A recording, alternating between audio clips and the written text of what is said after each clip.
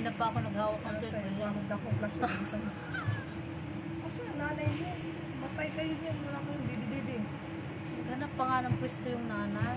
Kaya pala kayo kada, wala nang gana kumain. Wala kasi nga kumain yung puso mo.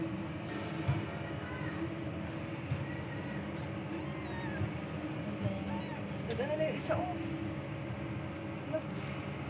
Liliit mo. ba't ano sa baba? Kaya pala nawala siya kanina. Gusto nilang dumidi.